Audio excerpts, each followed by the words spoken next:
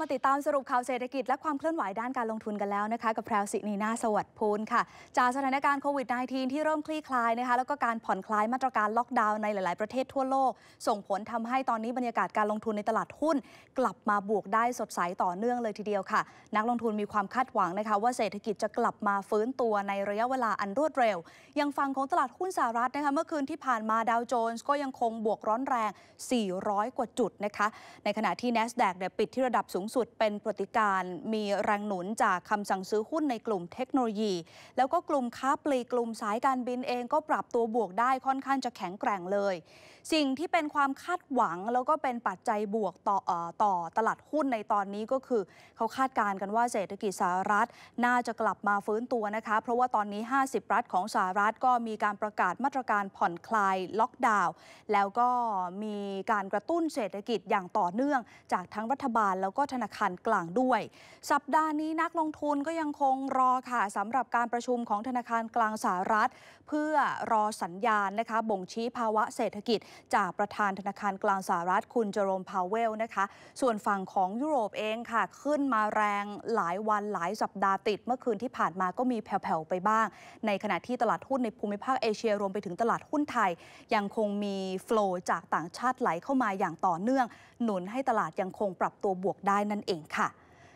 บ้านเรานะคะวันนี้ก็คงจะต้องลุ้นกันกับการประชุมของคณะรัฐมนตรีนะคะ ว่าด้วยเรื่องของมาตรการในการกระตุ้นเศรษฐกิจ และกระตุ้นการท่องเที่ยวค่ะ ซึ่งรองนายกรัฐมนตรีสมคิดจาตุศรีพิทักษ์นะคะ ได้ประชุมการฟื้นฟูเศรษฐกิจ ร่วมกับดร อุตมะสาวนายน รัฐมนตรีว่าการกระทรวงการคลัง ผู้บริหารทุกกรมของกระทรวงการคลังผู้ว่าการธนาคารแห่งประเทศไทย แล้วก็รวมไปถึงทางกลตด้วยนะคะ ก็เพื่อประเมินสถานการณ์ภาพรวมเศรษฐกิจ หลังจากโควิด คลี่คลายมีการฝากให้หน่วยงานได้ไปร่วมการศึกษามาตรการการกระตุ้นการบริโภคค่ะ กระตุ้นการท่องเที่ยว เพื่ออยากจะให้คนในระดับกลางเนี่ยออกไปใช้จ่ายออกไป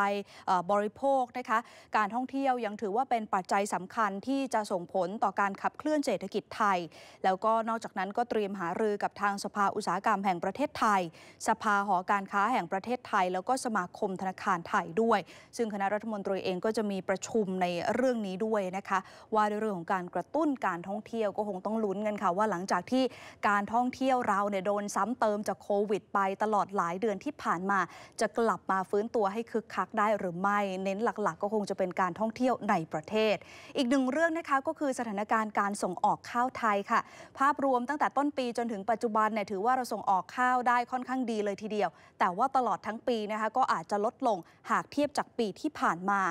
คุณจุรินลักษณะวิสิตรองนายกรัฐมนตรี และรัฐมนตรีว่าการกระทรวงวงพาณิชย์บอกว่า ได้มีการหารือนะคะกับสมาคมผู้ส่งออกข้าวไทย ถึงสถานการณ์การส่งออกในช่วงครึ่งปีหลัง หลังจากที่หลาย ๆ ประเทศเนี่ยก็เปิดให้มีการส่งออกในช่องทางต่าง ๆ ได้อย่างเต็มที่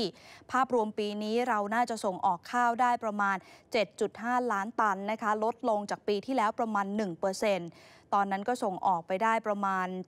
7.58 ล้านตัน 5 เดือนแรกของปีนี้จากข้อมูลของกรมศุลกากรและใบอนุญาตส่งออกข้าวไทยนะคะเราส่งออกไปแล้วประมาณ 2.6 ล้านตัน ลดลงจากช่วงเดียวกันของปีที่แล้ว 32%ส่วนหนึ่งที่เป็นปัจจัยหลักๆ เลยก็คือสถานการณ์โควิด -19 นะคะที่กระทบต่อความต้องการการบริโภคและก็เรื่องของการส่งออกด้วยค่ะ นี่ก็เป็นทั้งหมดนะคะที่เป็นประเด็นหลักๆ ที่สรุปรวบรวมมาฝากคุณผู้ชมกัน เดี๋ยวช่วงนี้ไปติดตามอัปเดตประเด็นข่าวสารด้านอื่น ๆ กันต่อเลยค่ะ